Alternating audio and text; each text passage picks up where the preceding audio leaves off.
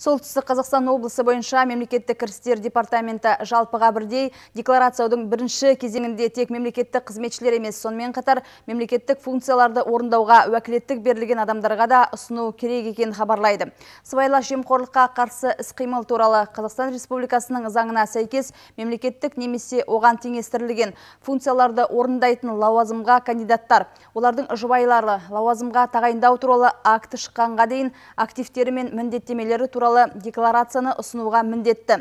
Ал декларацияны ұсынбаған жағдайда Қазақстан Республикасының әкімшілік құқық бұзушылық туралы кодексі бойынша жауапқа тартылады.